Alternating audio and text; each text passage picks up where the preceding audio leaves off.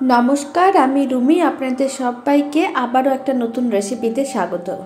আজ আমি আপনাদের দারুণ স্বাদের একটা রেসিপি বানানো দেখাবো। শীতকালের সকালে বা রাতে আপনারা ডিনারে বা স্কুল, কলেজ অফিসের টিফিনেও বানিয়ে নিতে পারবেন। বানাতে কিন্তু খুব বেশি সময়ের প্রয়োজন পড়বে না। খেতে কিন্তু খুবই ভালো হয়। তো চলুন দারুণ স্বাদের রেসিপিটা বানানো শুরু করা যাক। রেসিপিটি বানানোর জন্য প্রথমে একটি কড়াইতে বেশ কিছুটা পরিমাণ জল নিয়েছিলাম। জলটা কিন্তু গরম হয়ে গেছে। এবার জলের মধ্যে দিয়ে দিলাম কিছুটা পরিমাণ পালং শাক আর দিয়ে দিলাম কিছুটা পরিমাণ ধনে পাতা আর দুটো কাঁচা লঙ্কা। পালং শাক, ধনে পাতা ও কাঁচা লঙ্কাটাকে দু মিনিটের মতন মিডিয়াম ফ্লেমে রান্না করে নিতে হবে।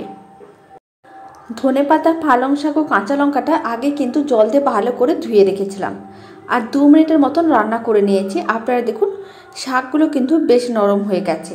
এখন তুলে একটা মিক্সির জারের মধ্যে নিয়ে নিতে হবে। ফ্লেমটা কিন্তু অফ করে দিয়েছি। আর পালং শাক, ধনে পাতা ও কাঁচা লঙ্কাটাকে একটু ঠান্ডা করে নিতে হবে। তারপরে মিক্সিতে কিন্তু পেস্ট করতে হবে। গরম অবস্থায় কিন্তু পেস্ট করা যাবে না। এই সময় আপনারা চাইলে ঠান্ডা জল দিয়ে একবার ধুয়ে নিতে পারেন, তাহলে তাড়াতাড়ি ঠান্ডা হয়ে যাবে। পালং শাক, ধনে পাতা ও কাঁচা লঙ্কাটা কিন্তু ঠান্ডা হয়ে গেছে। এখন আমি মিক্সির জারের মধ্যে দিয়ে দিচ্ছি মেজারিং কাপের হাফ কাপ চালের গুঁড়ো। আর যেই হাফ কাপ আমি চালের গুঁড়ো দিয়েছি, সেই মেজারিং কাপের হাফ কাপ আমি সুজি দিয়ে দিলাম। এখানে একশো গ্রাম চালের গুঁড়ো দিয়েছি, একশো গ্রাম সুজি দিয়ে দিলাম। আপনারা চালের গুঁড়ো চাইলে নাও দিতে পারেন বা সুজি দিয়েও করতে পারেন, আর নাহলে শুধু চালের গুঁড়ো দিয়েও রেসিপিটা করতে পারেন। আর দিয়ে দিলাম স্বাদ অনুযায়ী লবণ।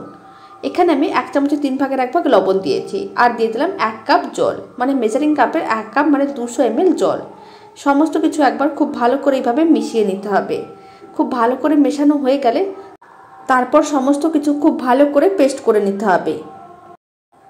সমস্ত কিছু খুব ভালো করে পেস্ট করে নিয়েছি। আপনারা দেখুন, মিশ্রণের কালারটাও কিন্তু খুব সুন্দরভাবে চলে এসেছে। এইভাবে হালকা সবুজ কালারের মিশ্রণটা হয়েছে। আর মিশ্রণটা দেখতে যতটা সুন্দর হয়, খেতে কিন্তু রেসিপিটা তার থেকেও অনেক বেশি ভালো হয়। এবার এই মিশ্রণটাকে আবারও একটা বড় মিক্সিং বোলের মধ্যে নিয়ে নিতে হবে।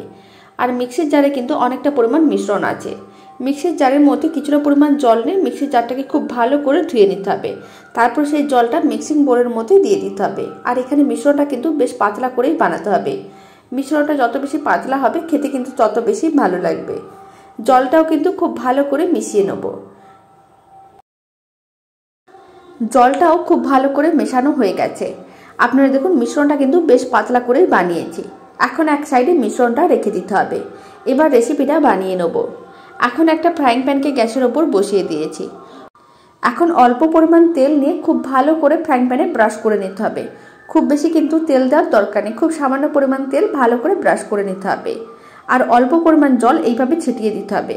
ফ্রাইং প্যানটা কিন্তু এই সময় হাই ফ্লেমেই ছিল। কিছুক্ষণ অপেক্ষা করতে হবে যতক্ষণ না জলটা শুকনো হবে। জলটা শুকনো হয়ে গেছে, এখন যে মিশ্রণটা রেডি করে রেখেছিলাম তার থেকে কিছুটা পরিমাণ মিশ্রণ নিয়ে ফ্রাইং প্যানের মধ্যে দিয়ে দিলাম। আর চারিদিকে গোল করে ছড়িয়ে দিতে হবে। ভালো করে গোল করে ছড়ানোর পরে মিশ্রণের ওপরের অংশটা কিন্তু শুকনো ভাব চলে আসবে তাড়াতাড়ি। এই সময় ফ্লেমটা একেবারেই লোতে রাখতে হবে।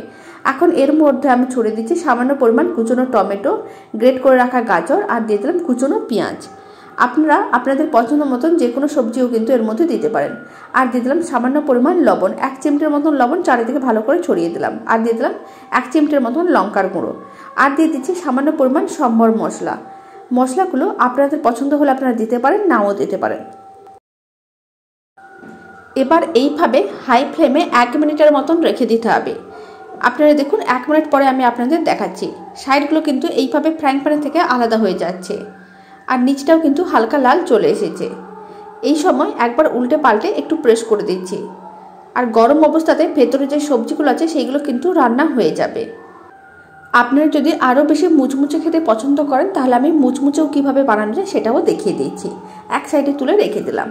আবারও ফ্রাইং প্যানের মধ্যে তেলটা কিন্তু ব্রাশ করার দরকার নেই, যেহেতু আমি তেল আগে থেকে ব্রাশ করে রেখেছিলাম, তাই অল্প একটু জল ছিটিয়ে রেখেছি। জলটা ছিটিয়ে নেওয়ার পরে যে মিশ্রণটা রেডি করে রেখেছিলাম, সেই মিশ্রণটির মধ্যে আরও কিছুটা জল দিয়ে মিশ্রণটাকে আরও পাতলা করে নিয়েছি। তারপরে অল্প অল্প মিশ্রণ এইভাবে ফ্রাইং প্যানের চারিদিকে ভালো করে ছড়িয়ে নিতে হবে। আপনারা দেখুন, মিশ্রণটা কিন্তু বেশ পাতলা করার কারণে ওপরটা কিন্তু বেশ জালিদার হয়েছে। খুব ভালো করে ছড়িয়ে নিয়েছি। এখন অল্প পরিমাণ তেল নিয়ে ভালো করে চারিদিকে তেলটা ব্রাশ করে নিলাম। আর উপরেও অল্প একটু তেল দিয়ে দিয়েছি। এখন মিশ্রণটাকে এইভাবে দু মিনিটের মতন মিডিয়াম ফ্লেমে রেখে দিতে হবে। খুব ভালো করে কিন্তু নিচটা লাল হয়ে যাবে। এই সময় আপনারা অল্প পরিমাণ কুচনো পেঁয়াজ দিলেও দিতে পারেন বা আপনারা যদি প্লেন খেতে চান তাহলে আপনারা এইভাবেও রেডি করে নিতে পারেন। আর ফ্লেমটা কিন্তু এই সময় মিডিয়ামে রাখতে হবে। মিডিয়াম ফ্লেমে দু মিনিটে রাখার পরে আমি আপনাদের দেখাচ্ছি। দু মিনিট হয়ে গেছে। আপনারা দেখুন, সাইডগুলো কিন্তু বেশ লাল লাল হয়ে গেছে। এই সময় একবার সাইডগুলোকে আলাদা করে নিতে হবে। আর দেখেই বোঝা যাচ্ছে কতটা মুচমুচে হয়েছে। এখন ফোল্ড করে একটা সাইডে তুলে রেখে দিচ্ছি আর সমস্তগুলো একইভাবে রেডি করে নিতে হবে।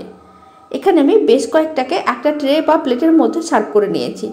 কয়েকটা প্লেনও সার্ভ করেছি আর কয়েকটা মশলা মানে সবজি দিয়েও সার্ভ করে নিয়েছি। আপনারা দেখুন প্লেনটা যতটা মুচমুচে হয়েছে আর যার মধ্যে মশলা আছে, সেটা কিন্তু ততটাই নরম তুলতুলে হয়েছে।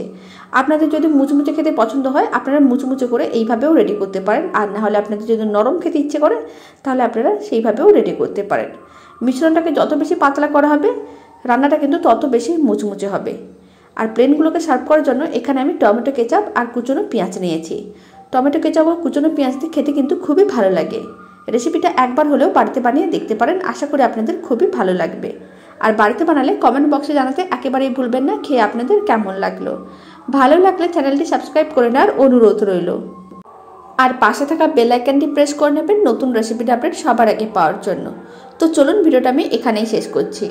আপনারা সবাই ভালো থাকবেন, সুস্থ থাকবেন। আপনাদের সঙ্গে আবার নতুন রেসিপি নিয়ে দেখা হচ্ছে।